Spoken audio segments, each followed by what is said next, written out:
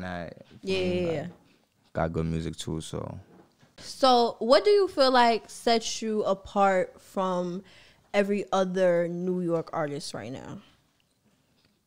Predominantly the the Bronx rap scene. just being me, man. Just not being on what niggas on, man. Especially in the real life, cause for me, bro, it just be on some. I'm just on my time and like I'm, I'm on me, bro. I ain't moving like niggas. So, how do you feel? Well, okay. So, first let's start off with I know I'm glad you said like there were four main pioneers of the whole Bronx drill music right now. Yeah, So, who would you say those four are?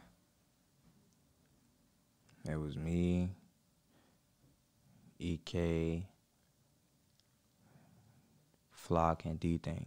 Hey guys, it's Taylor. Make sure you follow us for more exclusives at www.talkoftheTownshow.com. Like, comment, and subscribe.